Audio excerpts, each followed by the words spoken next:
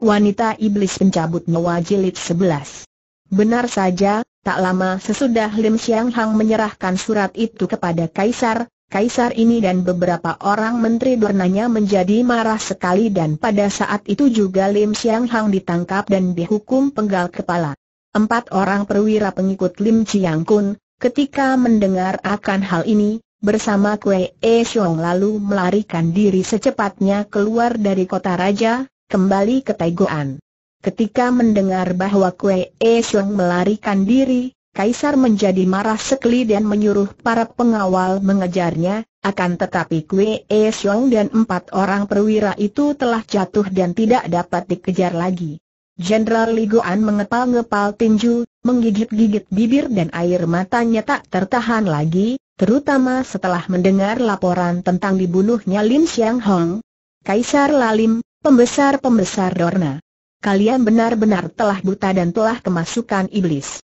Saudaraku Lim Xiang Hong, jangan mati penasaran, lihat saja betapa tak lama lagi aku akan menghancur leburkan tiang an jenderal besar ini lalu menghimpun seluruh bala tentaranya, ditambah pula dengan rakyat jelata yang menyokong pemberontakannya dan segera memimpin ratusan ribu bala tentara menyerbu Tiang An kita tinggalkan dulu barisan Jenderal Ligoan yang mengamuk dan berusaha menggulingkan pemerintahan Kaisar yang lalim itu, dan marilah kita mengikuti perjalanan Lim Xian Lun, putra tunggal dari Lim Xiang Hang yang gugur sebagai seorang patriot bangsa yang gagah perkasa itu. Setelah setahun melatih diri, dengan tekunnya dan telah dapat menguasai ilmu silat yang diajarkan oleh Liang Di dengan sempurna, Lim Xian Lun mendapat izin dari Beng Tu Sian untuk turun gunung. Muridku, pertama-tama kau harus pergi menghadap suhu Liang Di sebagaimana telah ia pesan dulu.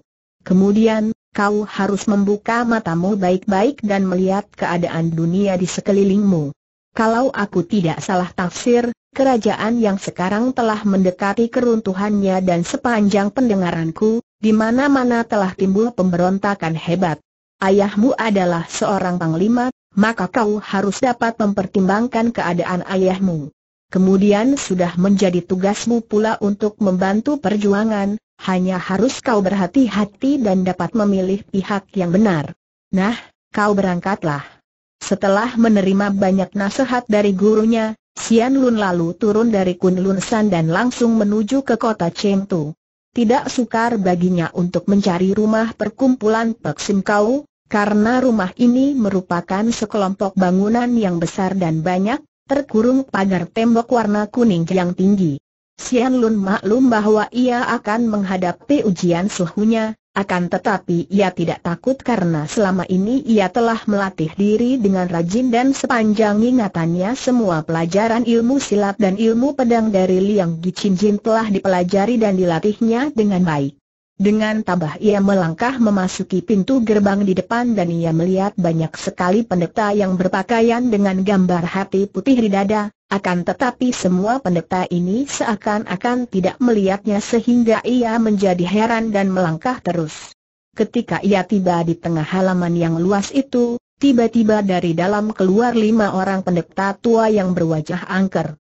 Pendeta-pendeta ini menghadang di tengah jalan, lalu seorang di antara mereka bertanya garang, Saudara siapakah dan ada keperluan apakah masuk ke dalam rumah? Kami melihat lima orang pendeta yang memakai tusuk konde perak ini, Sian Lun yang sudah mendapat keterangan dari Beng Tu Sian Su, dapat menduga bahwa mereka ini tentulah lima orang murid suhunya yang disebut Pek Si Jin.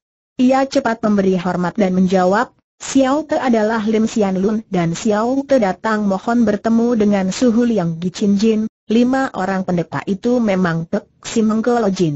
Mereka ini masih merasa amat penasaran dan marah karena telah dikalahkan oleh Ling Ling dan ibunya pada tiga hari yang lalu.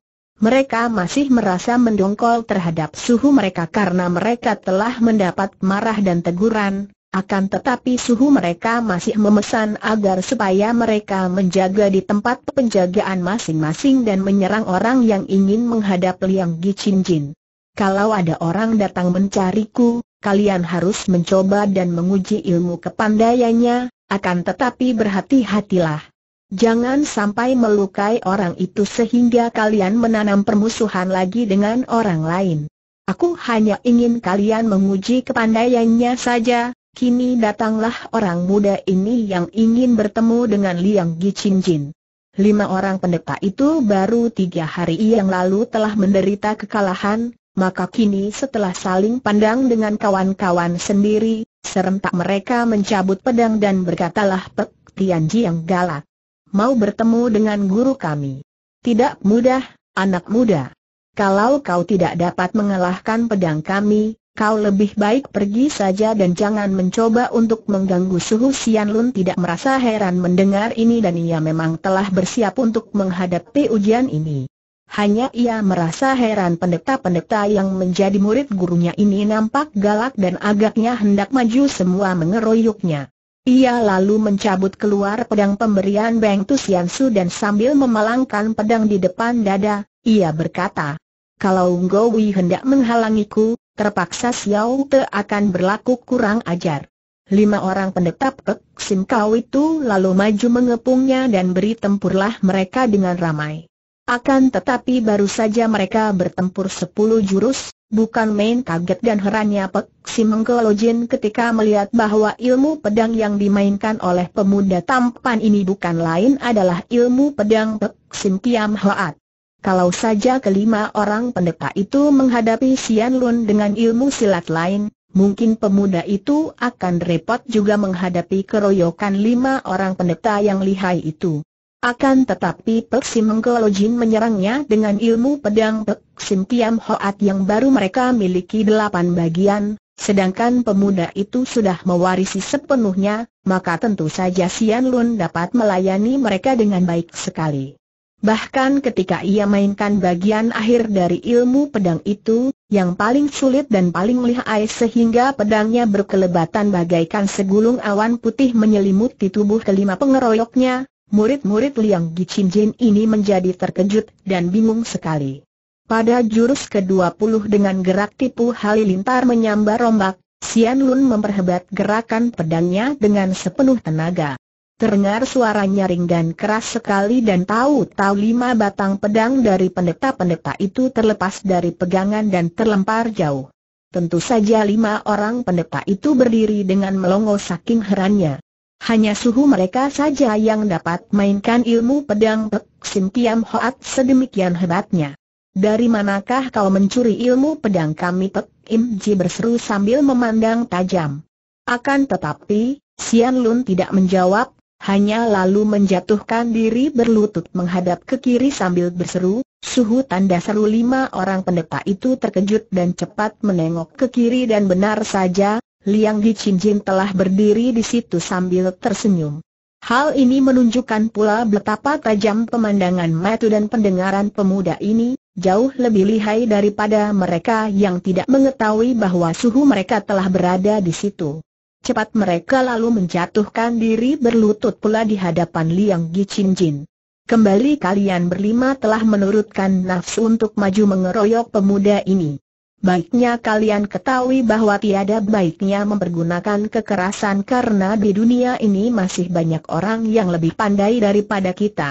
Ketahuilah bahwa pemuda ini adalah muridku sendiri, atau juga Sute, adik seperguruan, kalian yang jauh lebih berhasil dalam mempelajari ilmu silat daripada kalian berlima, Sian Lun lalu berpaling kepada suheng-suhengnya dan berkata, Mohon Suheng sekalian sudi memberi maaf kepadaku yang kurang ajar tidak apa, Sute, bukan salahmu karena kami berlimalah yang menyerangmu lebih dulu. Liang Di Jin menjadi girang sekali melihat kemajuan Sian Lun ia benar-benar merasa puas dan tidak sia-sialah ia mewariskan ilmu kepandaiannya kepada pemuda ini. Ia lalu mengajak semua muridnya masuk ke dalam dan berkatalah Liang Di Jin kepada Sian Lun, muridku, menurut berita yang sampai di sini, di kotamu, yakni Taigoan, telah mulai ada pergelokan. Agaknya Jenderal Ligoan telah bergerak pula dan menurut pendengaranku, Jenderal ini adalah seorang bijaksana dan gagah perkasa. Kau pulanglah dan coba kau perhatikan sepak terjang para pejuang itu dari dekat.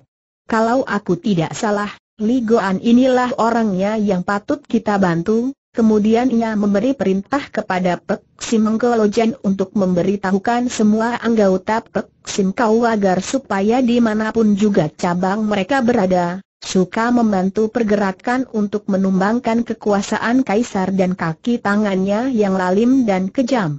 Maka setelah kakek sakti ini selesai memberi wejangan, bubarlah enam orang muridnya itu. Xian Lun langsung melanjutkan perjalanan ke Taigoan, sedangkan kelima orang pendeta itu lalu berpencar untuk menghubungi anak buah mereka di berbagai kota. Kemudian ternyata bahwa bantuan para pendeta Pek Sim Kau ini merupakan dorongan yang besar sekali, dan tenaga mereka benar-benar amat berjasa dalam perjuangan menumbangkan pemerintah Sui yang sudah tak disukai rakyat lagi. Adapun Lim Sian Lun segera keluar dari kota Chengtu dan menuju ke timur.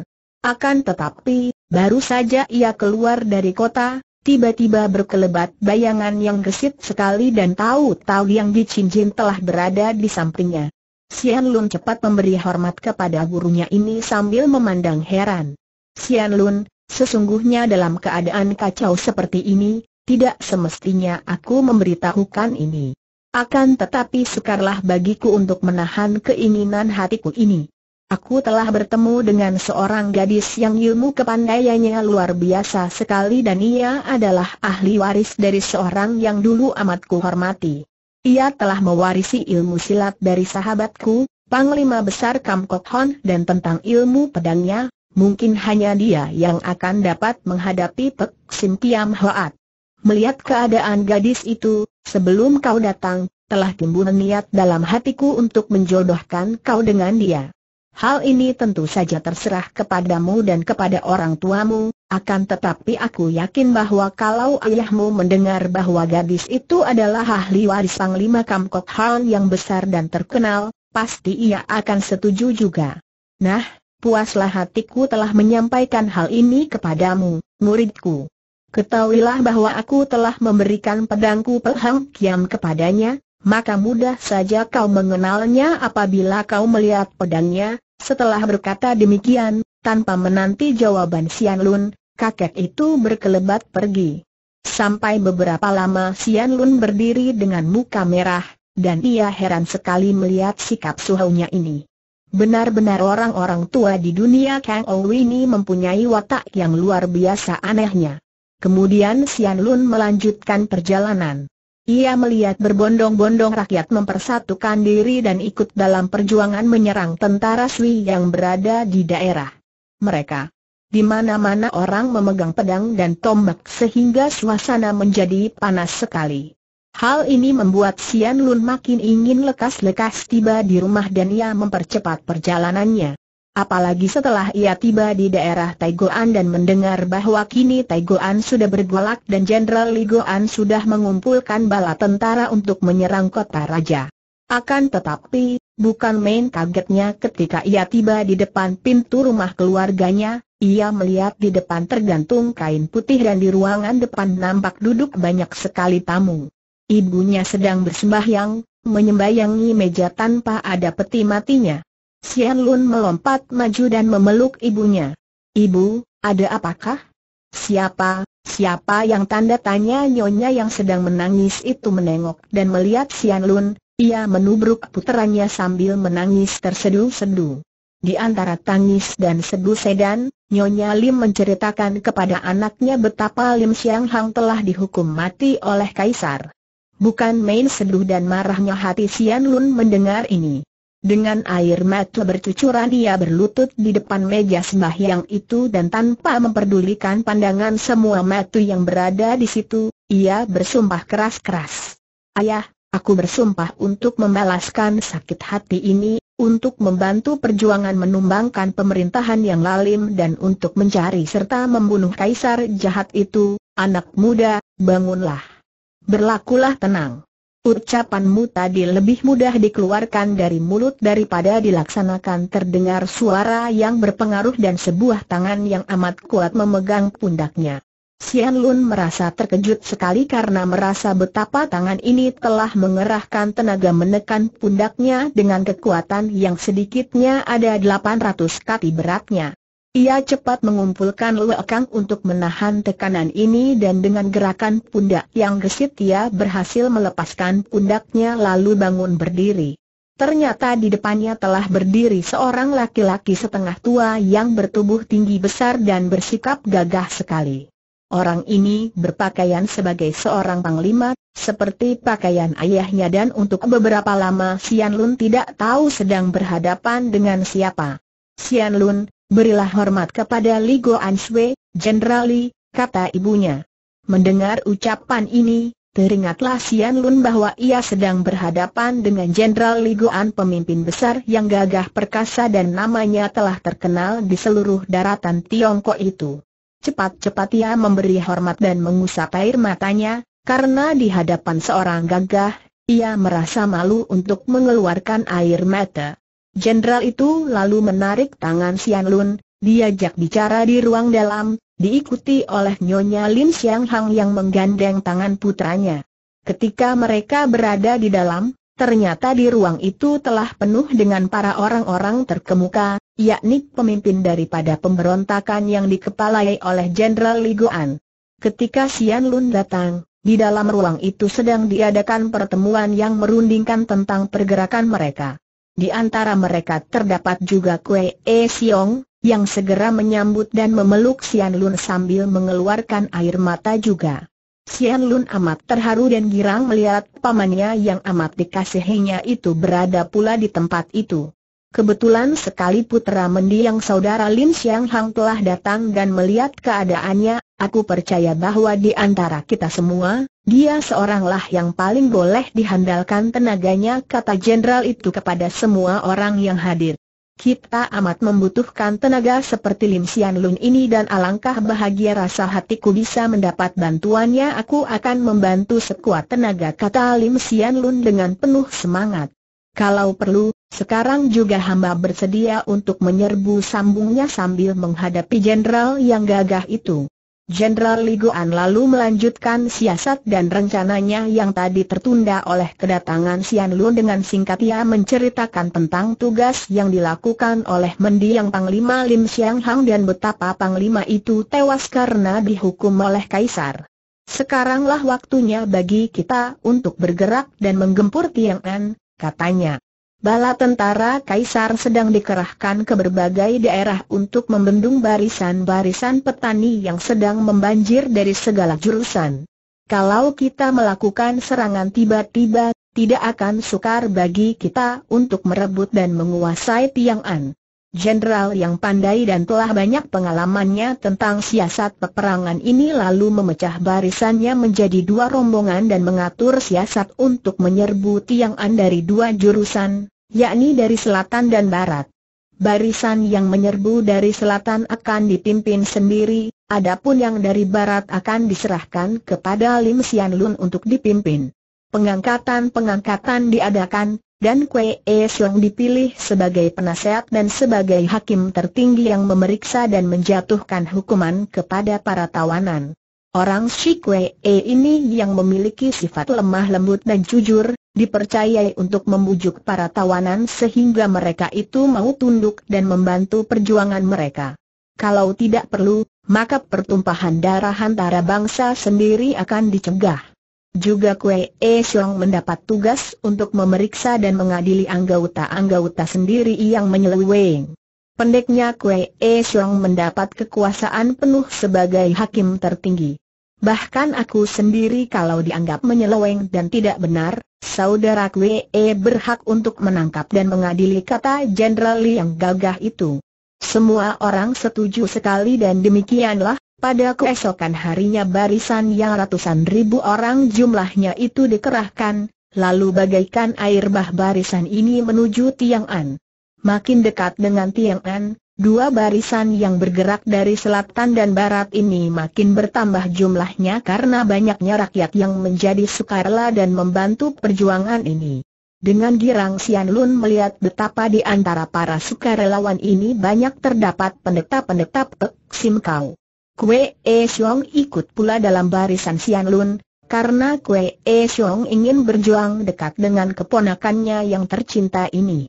Ketika kedua orang ini berangkat, Mereka diantar oleh keluarga mereka, yakni Nyonya Lin Xiang Hong, Nyonya Kue E Siong, dan Kue E Chun yang masih kecil. Kalau aku sudah besar, aku akan membantu Engko Sian Lun bertempur kata Kue E Chun dengan gagah. Sian Lun memondong anak itu dan berkata, kelak kau akan menjadi seorang yang lebih gagah daripada semua pahlawan Sian Lun memesan kepada ibunya agar baik-baik menjaga diri, Sedangkan Kue E Sung yang sudah meninggalkan rumahnya di kota raja, berpesan kepada istrinya agar istri dan anaknya tinggal bersama dengan Nyonya Lin Xiang Hong. Tepat sebagaimana telah diperhitungkan oleh Jenderal Li Guan, pertahanan barisan kerajaan di kota raja tidak kuat, karena bala tentara kerajaan telah dipecah-pecah untuk memadamkan pemberontakan yang timbul di mana-mana. Hanya pasukan-pasukan yang kecil jumlahnya saja yang melakukan perlawanan terhadap barisan yang dipimpin oleh Jenderal Li Goan dan oleh Lim Sian Lun pasukan-pasukan kerajaan ini dengan mudah dihancurkan, sebagian besar ditawan dan bahkan ada yang menyerah dan menggabungkan diri dengan barisan pemberontak. Lim Siang Hang memimpin pasukannya menyerbu kota raja dari barat, ketika sudah tiba di luar tembok kota, Barisannya dihadang oleh sepasukan tentara kerajaan yang besar juga jumlahnya dan nampak kuat, teratur baik, dan dikepalai oleh seorang panglima berkuda putih yang tinggi besar. Panglima yang bertubuh seperti seorang raksasa itu duduk di atas kudanya dan suaranya seperti geluduk ketika ia menantang barisan pemberontak. Apakah kalian sudah bosan hidup dan berani menghadapi tentara di bawah pimpinanku sambil berkata demikian, ia mencabut pedangnya dan memutar pedang itu di atas kepala sehingga nampaklah sinar yang kekuningan dan terdengar suara nyaring ketika pedang itu memecahkan hawa di sekitarnya. Melat lagak Panglima Barisan Kerajaan Sui ini, Sian Lundam diam kagum. Panglima itu benar-benar gagah dan amat pantas dalam pakaian perangnya. Siapakah dia? Kue E Shoku, Paman Kue E tanyanya kepada Kue E Xiong yang duduk di atas kuda, di sebelahnya. Dia adalah seorang jenderal muda yang amat gagah perkasa, bernama Kuan San Giok. Ia dulu mengepalai barisan penjaga tapal batas di sebelah selatan. Hati-hatilah, Sian Lunia amat gagah dan berkepandaian tinggi, jawab Kue E Xiong sambil mengerutkan kening. Memang ia sudah mendengar nama jenderal muda ini yang benar-benar amat terkenal gagah perkasa tak terlawan. Sementara itu, jenderal muda Kuan San Giok sudah melihat Kue E Siong, maka ia menudingkan pedangnya dan membentak keras. Orang si Kue E. Kau benar-benar anjing tak mengenal budi. Kaisar telah memberi anugerah kepadamu, akan tetapi siapa kira kau sekarang bahkan menggabungkan diri dengan pemberontak. Mana anjing tua Ligoan? Suruh dia maju dan lekas berlutut minta ampun untuk kubawa menghadap kepada Kaisar Kuan San Giok Sian Lun berseru marah sambil menggerakkan kudanya, maju menghadapi panglima itu. Alangkah besar mulutmu. Kaisar yang lalim dan membuat sengsara rakyat tidak patut memegang pemerintahan lagi, dan ke orang yang tolol dan buta agaknya hanya mabok oleh kesenangan dan harta benda kotor yang diberikan oleh Kaisar kepadamu. Tahukah kau harta benda siapa yang menyenangkan hidupmu? Keringat dan darah rakyatlah yang kau pergunakan untuk berfoya-foya setiap hari bersama seluruh pembesar-pembesar jahat.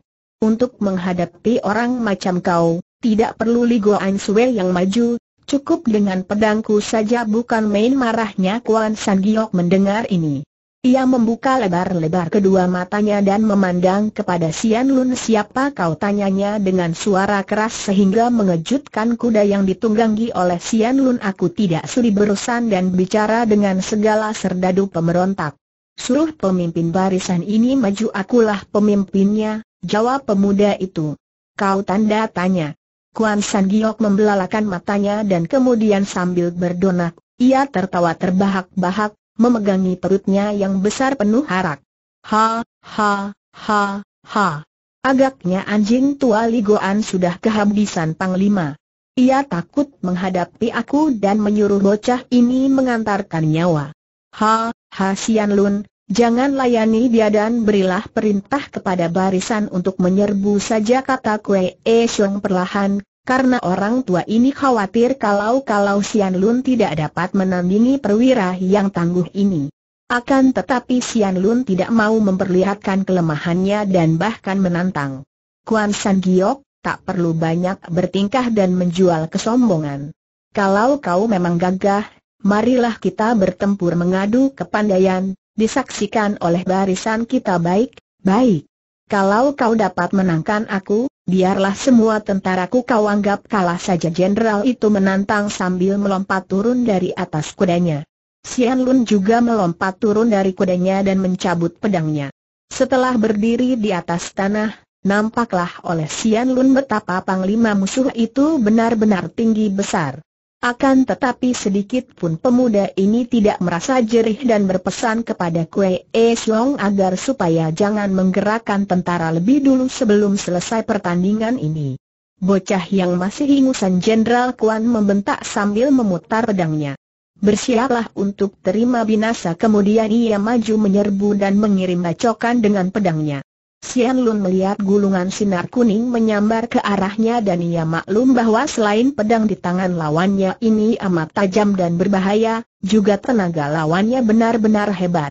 Ia cepat mengelak ke kiri, lalu membalas dengan tusukan pedangnya ke arah perut lawannya. Kuan San Giok tercengang juga melihat kegesitan lawannya yang masih muda ini, maka ia cepat menggerakkan pedang dengan sekuat tenaga untuk menangkis pedang lawan. Akan tetapi Sian Lun bukanlah seorang pemuda yang bodoh. Ia maklum akan tajamnya pedang lawan yang mengeluarkan sinar kuning itu, maka tentu saja ia tidak mau mengadu senjata. Ia menarik kembali pedangnya dan cepat mengirim serangan-serangan lagi secara bertubi-tubi. Pedangnya berubah menjadi segulungan sinar putih yang amat kuat, lebar dan cepat gerakannya, berputar-putar bagaikan seekor elang mengitari dan menyambar kurbannya. Makin heran dan terkejutlah Kuan San Giok menyaksikan kehebatan ilmu pedang lawan. Tak disangkanya sama sekali bahwa Panglima pemberontak yang muda ini memiliki ilmu pedang yang demikian tingginya. Panglima kerajaan Sui ini lalu membentak nyaring dan mainkan ilmu-ilmu pedang yang banyak dipelajarinya.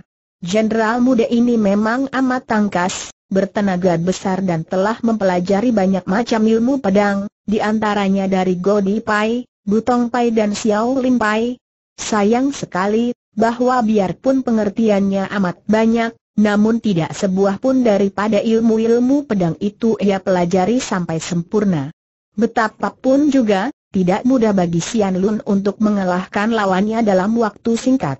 Tidak saja gerakan jenderal itu cukup gesit dan tenaganya amat besar, akan tetapi terutama sekali karena ia tidak berani mencoba mengadu pedangnya dengan Po Hiam, pedang mustika, lawan. Sian Lun hanya mengerahkan ginkangnya dan bergerak cepat sekali, mengirim serangan-serangan dengan ilmu pedang Pek Sim Kiam Hoat, dan kadang-kadang juga mengeluarkan ilmu pedang dari Kun Lun Pai yang dipelajarinya dari Beng Chu Sian Su. Akan tetapi ternyata bahwa jenderal itu pun mengenal ilmu pedang Kun Lun Kiam Hoat, maka dapat mengimbanginya. Terpaksa Sian Lun lalu mengerahkan ilmu pedang Pek Sim Kiam Hoat yang benar-benar hebat, dan belum dikenal oleh jenderal ini. Setelah bertempur 50 jurus belum juga berhasil mengalahkan Sian Lun, Jenderal Kuan San Giok lalu membentak sambil menahan pedangnya. Tunggu dulu, Aku tidak suka bertempur melawan orang yang tidak bernama. Melihat ilmu pedangmu, kau tentu seorang murid dari guru yang pandai. Siapa namamu dan siapa pula guru Musian Lun tersenyum mengejek. Butakah matamu bahwa aku tadi mainkan ilmu pedang Peksim Kiam Hoat? Kalau kau mengenal Peksim Kiam Hoat, tentu kau tahu bahwa aku adalah murid dari Liang Gichin Jin, namaku Lim Sian Lun.